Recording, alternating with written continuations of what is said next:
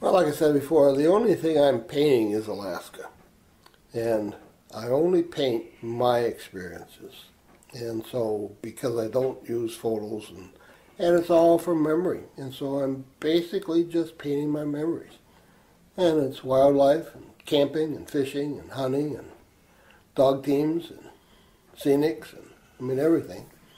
And I've been very, very fortunate that you know, our, our international publishers get these reproductions throughout the world. And, you know, they've really helped in, in promoting me. Well, my mom was an artist. Um, like I said, she also had, you know, her kennels. And I grew up knowing that I was either going to be a vet because of the dogs or I was going to be an artist and she trained us. She was uh, probably the only lesson I ever had in art was from her. Um, she used to take a piece of paper, and I have a twin brother, and she would take a couple pieces of paper and put it in front of us, and take an object, a coffee mug or flowers or something, put in front of us, and tell us to draw it. And an hour or so later, we'd come back and show it to her, and invariably she said it's wrong. Go back and do it again.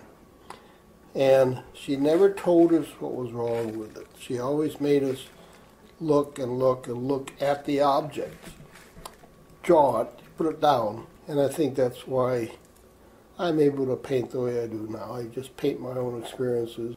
We used to travel a great deal with the publishers and do, you know, shows all over the U.S. Um, and so you had to do a lot of paintings. Um, now I'm doing about between 60 and 80.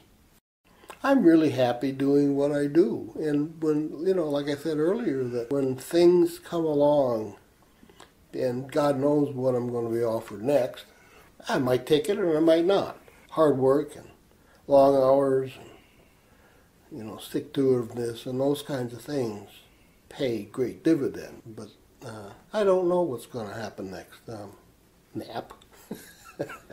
and, and probably uh, I just I'm happy doing what I'm doing now. I mean I don't know what's coming, but you know I have enough. I got enough not enough hours in the day to finish what I have to do now, much less something that might come along. So don't know.